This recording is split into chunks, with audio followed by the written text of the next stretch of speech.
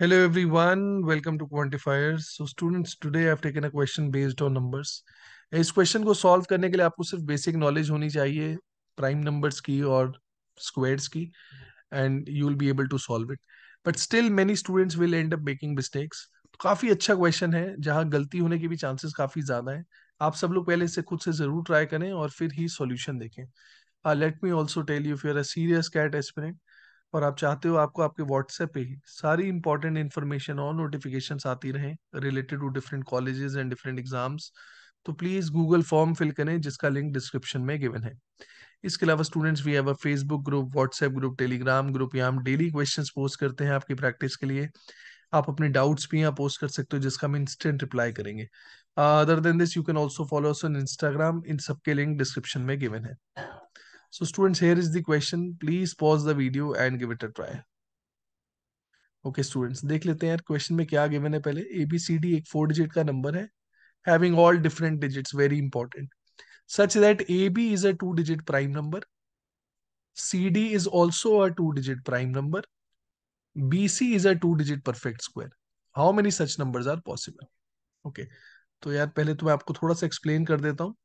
तो let's say four digit का number है। पहला डिजिट दूसरा डिजिट तीसरा digit and let's say fourth digit so now this is a two digit prime number okay it is a two digit prime number very important this is also a two digit prime number और middle वाले two digit से जो number बन रहा है that is a perfect square okay that is a perfect square so these are the conditions and very important all digits are different ठीक है? तो अब देखो यार सॉल्व करने का बेस्ट तरीका क्या रहेगा? इंपॉर्टेंट चीज़ यहाँ पर ये कि स्टार्ट कैसे करें क्वेश्चन को? Now some students they start making cases I mean doing hit and trial right तो उसमें काफ़ी चांसेस है कि आप कोई ना कोई केस मिस कर जाओगे। So to be sure that you have taken all the cases, so best way would be start with this condition BC is a two digit perfect square. देखो यार क्योंकि आपको ये तो पता ही है कि A B is a two digit prime number ना if this is a two digit prime number then obviously this digit has to be odd right I hope ये बात सबको समझ में आ रही है क्योंकि प्राइम नंबर अगर टू डिजिट का है तो वो तो ऑड ही होगा। तो मतलब ये जो हमारा सेकंड वाला डिजिट है it has to be odd. और मुझे ये भी पता है कि now this is a two digit perfect square. Now I just need to see two digit perfect square starting with odd digit है ना? बस मुझे यही चेक करना है, कौन सा ऐसा टू डिजिट का परफेक्ट स्क्वायर है जो और डिजिट से स्टार्ट हो रहा है।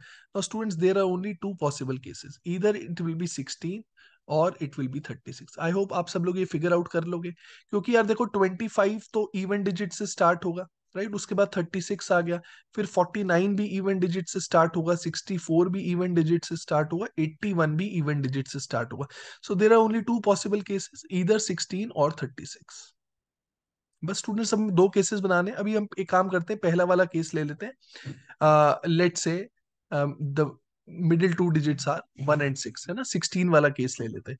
तो यार, मान लो मैंने सिक्सटीन को यहाँ फिक्स कर दिया। अब मुझे बस यही देखना है कि CD is a two digit perfect prime number right CD is a two digit prime number तो मुझे ये देखना है कि सिक्सटीज की रेंज में कौन से प्राइम नंबर आते हैं ना? सिक्सटी टू सेवेंटी के बीच में कौन से प्राइम नंबर आते हैं? There are only two prime numbers sixty one and sixty seven right sixty one and sixty seven you cannot take sixty one because we have already used digit one all digits are different so that means this has to be seven there is only one possibility it has to be seven अब अगर first two digits की बात करें first to digit से जो number बन रहा है it is a prime number right this is also prime number तो अभी हम देख लेते हैं कौन से प्राइम नंबर है जो वन पे एंड करते हैं right so we cannot take eleven because all digits are different we cannot take twenty one twenty one is not prime so इधर we can take thirty one right we can take forty one right fifty one is not prime sixty one we cannot take seventy one we cannot take eighty one is not so, there are only two possible cases. 3167 और 4167 मतलब जब middle two digits में मैंने ये लिए one and six है ना? 16 जब मैंने बीच में लिए है दो ही केसेस हैं 3167 एंड 4167 आई होप ये सबको क्लियर है now students let us see the next case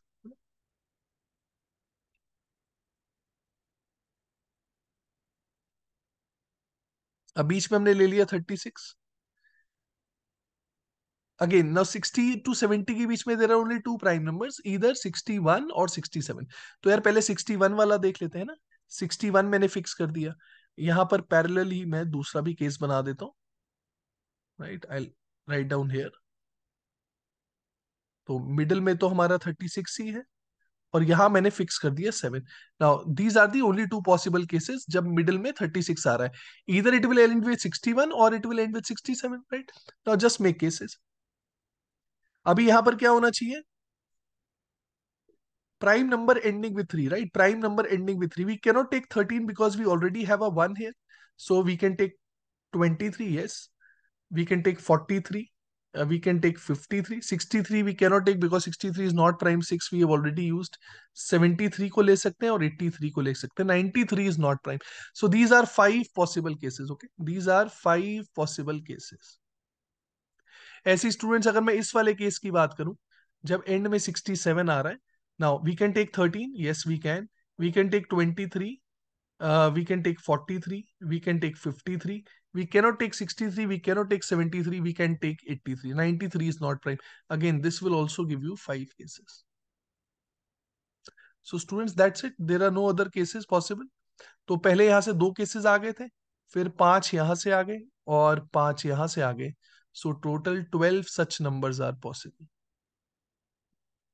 so twelve is the answer आप देखो, इसमें कंसेप्ट वाइज कोई मुश्किल कंसेप्ट नहीं था but how to count the cases that was the important part तो यार अगर वीडियो पसंद आया हो तो प्लीज़ लाइक करें अच्छा सा कमेंट करें, दोस्तों के साथ शेयर करें और अगर चैनल सब्सक्राइब नहीं किया तो प्लीज़ वो भी करें.